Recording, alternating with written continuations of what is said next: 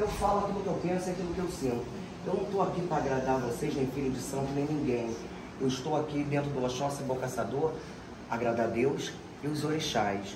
Muitos não gostam de ouvir a verdade. Dizem que a verdade dói. Dói sim. Claro que dói. Dói em mim, dói em você, dói em qualquer um.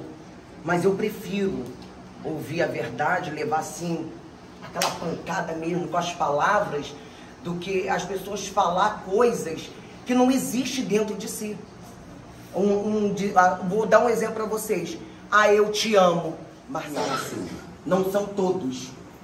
Por isso que existe a doutrina toda, né? essa doutrina espiritual, essa doutrina com o ser humano, para quê? Para fazer aquela grande mudança aqui dentro, no sentimento, tirar os sentimentos ruins, tirar os pensamentos ruins. Porque, ah, tá errado, não estou conseguindo um emprego. Né? Chega muitos. Pô, estou desempregado. O que, que você está fazendo para mudar esse quadro? Você está botando currículo? Você está batendo na porta? Você está pedindo uma vaguinha? Não, eu não vou ali porque eu vou ser caixa. Né? Eu não quero ser caixa, eu estudei, eu, tenho faculdade, né? Não é assim? Não tenho não, tá, gente? Parei na oitava série para fugir da escola. É pra piscina, pra praia. A verdade é essa. Vocês já ouviram isso, mas eu tenho que falar a verdade. Aí o que que acontece? Tá só se lamentando. Tá ali, ó, reclamando da vida.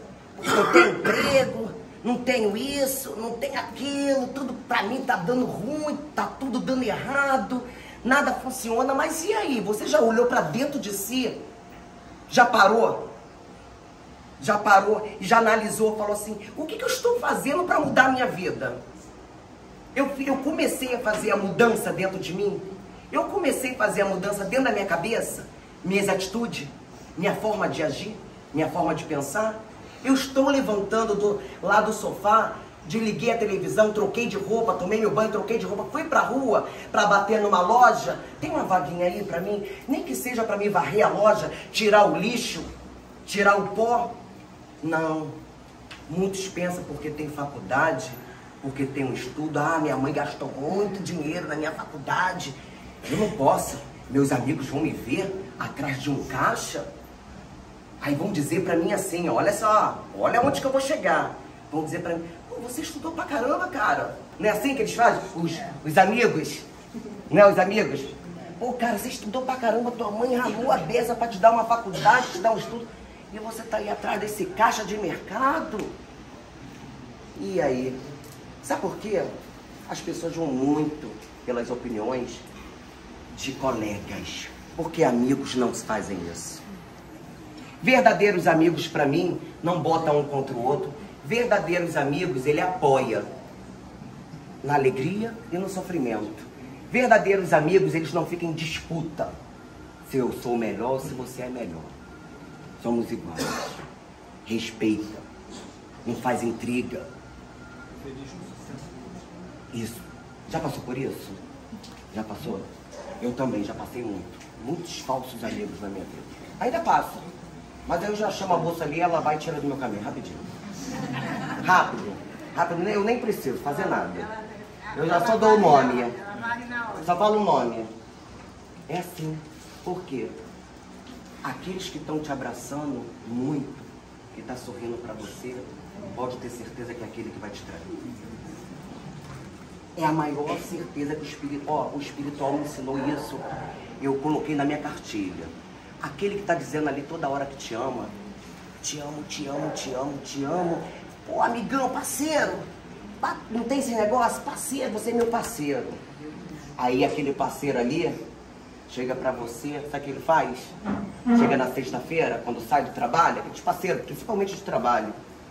Pô, vamos ali tomar uma cerveja. Pô, cara, eu não vou não. Minha mulher tá em casa. Minha mulher passa o dia todo ali trabalhando, lavando a minha roupa, fazendo a comida para meus filhos, cuidando dos meus filhos. Pô, que isso, cara? Ela nem vai saber. Não é assim? Os meninos, não é assim? Ela nem vai saber, cara. Isso aí vai passar batido. Aí o que, que acontece? Aonde que vem a destruição? De uma família. Você vai, começa a beber as manguaças, né? Muitos gostam e quando bebe o primeiro, o segundo copo já perdeu o sentido. Já esquece que tem um filho dentro de casa uma criança Isso aí, dentro de casa. Aquela esposa que ficou ali o dia todo limpando, cuidando, não teve um tempo de fazer uma unha, não teve um tempo de pintar um cabelo, de fazer nada.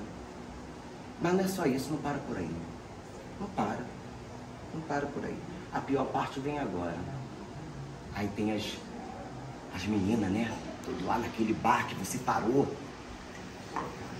Vai lá, tá te olhando. Não, é assim. É. É desse jeito. Eu vou contar uma historinha pra vocês. Acho que eu tava com uns 19, 19 anos, dentro da quadra do Império Serrano. É, mas é, mas é agora vai ficar, tri- vai ficar triste. Estou lá, passista, eu ali acabando. Adorava beber uma cervejinha. Cada mesa, minha família toda do Império. Cada mesa tinha um copo de cerveja. Sambava um pouquinho aqui, depois enchia meu copo. Pô, vem aqui, meu copo ficava cheio toda a mesa. E sambava a noite toda. Chegava 10 horas, só saía quando o sol tava, a maquiagem daqui já tava aqui no queixo. E tava tudo certo, salto alto, 17, né? Já pendurado aqui, já não aguentou nem mais segurar o salto. E assim. Só que ele tinha um amigo que dizia que era muito amigo dele. Aí eu virava pra ele, olha só, olha só. Eu virava pra ele e falava assim, cara, abre o olho. Abre o olho. Não é teu amigo. A gente não fala, né? A gente vai só dando umas dicas. As mulheres não é assim, não é? Não é assim? Vai dando uma dica pra gente poder acordar. Mas aí eles sabem tudo, né, Baizé? Eles sabem tudo. Ah, você tá maluca. Vocês novinhas ficam tudo com a cabeça doida. 19 anos não queria saber nada, queria sambar, né, meu filho? Me cantou a primeira vez. Aí eu falei assim, caramba. E quando eu começava a sambar, vinha pra perto de mim. E tá ele lá no palco, né? Com aquelas calças de linho que quando tão bem passada pela minha cunhada, que quando ele fazia assim, a calça fazia assim, ó. A mãe não passava roupa não, tá? Cara, chegou um dia que ele percebeu. Sabe aqueles microfones sem fio? Aqueles de fio que tem uns cabos que você chega lá no final da rua? E queria tacar na minha cabeça. Não, mas era pra acertar o cara. E jogou em cima, mas era bem pra, na mira mesmo pra acertar. Mas e aí? Aí que tá. A mãe não avisou. A mãe não alertou. Por que que continuou? Muitos homens não acreditam nos avisos que as esposas fazem. Acha que está vendo demais, acha que está falando demais. Ah, você está falando demais, sempre é assim, né? Para nós, sempre falando demais. Destrói a família. Quando eu conheci o Pai Zé, falaram que a gente não ia ficar três meses. Falei, pô, que três meses esse que deu 30 anos? Pô, passou um ano? Não, muito novinha. Muito novinha. Não vai ficar, não. Falei, gente, se tiver que ficar, vai ficar. Se não tiver que ficar. Porque o seu destino com a sua esposa está traçado. Mas nós escutamos isso. Está escrito. E vamos fazer em agosto 18 anos de casado. Olha só, parabéns. Parabéns. Vai fazer, vai fazer em agosto 18 anos e vai fazer muito mais. Mas o que, que vocês já atravessaram? Muita dificuldade. A família também já atrapalhou muito, já passou por isso? Muito. Até hoje? Até hoje. Peixe, Que isso? Foi muito choro. Foi debaixo de muito choro, de muita Foi dificuldade. Quando nós começamos, Muita coisa. Eu não vou virar. Dona Mulambo não me ajudou. Ah, meu pai Oxóssi não me ajudou. Ah, minha mãe Oxô não me ajudou. É a primeira coisa que os seres fazem. Perdeu alguma coisa? É a primeira coisa que julga. É Deus e os santos. Esquece, olha para trás. Olha para trás e vê os erros que cometeram. Esbanjaram, compraram coisas que não era para ter sido comprada, gastaram dinheiro aonde não era para ter sido gastado. Para provar, sempre provando para as pessoas o que tem. Vocês não têm que provar nada para ninguém. Vocês não têm que mostrar nada para ninguém. Dizer o que, que tem dentro da casa de vocês, o que, que vocês comem, o que, que vocês vestem. A casa de vocês, o teto de vocês é sagrado, como essa casa aqui é sagrada para mim. É sagrada, é respeito. A mãe é chata, a mãe é exigente. Para quê? Para vocês evoluir. Evoluir. Hoje, um, um ali tem muito, amanhã pode perder tudo. Pode não ter nada, acordar zerado, sem nada. E aquele amigo que você botou dentro de casa vai levar comida, vai levar o prato de comida para vocês, vai dar comida aos filhos de vocês, não vai nem lembrar de vocês. Sabe por quê? Vai chamar para balada, para farra, vai ter um montão, gente. Mas na hora do choro, do sacrifício, vocês não vão ter um colega sequer um sequer para dizer assim, ó, eu passei por isso, meus filhos pequenos. Eu passei por isso. Ia pra samba, meu, eu e meu pai, meu pai carnal mesmo, a gente sentava assim, bebia, tá, meu pai gastava, na época meu pai tinha dinheiro. Gastava com as mulheres, queria se mostrar, né? Coroa, com garota nova, com montão de garota nova do lado, queria se mostrar, era assim. É a realidade. Eu vivo, eu vivo da realidade. Eu não vivo de, eu não me permito sonhar. Porque sonhar, você sonha e acorda. E quando você vê aquele sonho não foi realizado. E aí o que, que acontece? Vem as frustração, vem as raiva. Nós temos que correr lá na frente para quê? Para as batalhas, para as vitórias. Vamos batalhar, conquistar a vitória. Deu! Obrigado, meu Pai Obrigado a Deus, obrigado, Santo. Não deu. Vou levantar minha cabeça. Vamos de novo.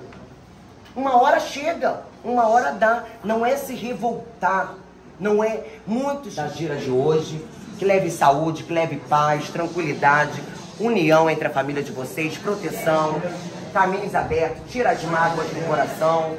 Não, se as pessoas fizerem maldade com vocês, ruindade, pedir coisas ruins para vocês, não leva isso para a vida de vocês, não. Sabe por quê? Porque a maldade, aquela mágoa, só vai atrapalhar a vida de vocês e os caminhos de vocês. Fez maldade? Entrega na mão de Deus, principalmente na mão dos orixás de vocês, que eles vão conseguir resolver isso tudo. Tá?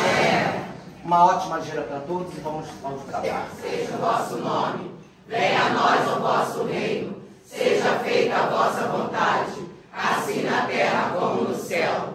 O pão nosso de cada dia nos dai hoje. Perdoai as nossas ofensas, assim como nós perdoamos a quem nos tem ofendido. Não deixeis cair em tentação, mas livrai do mal. Amém. Concebida.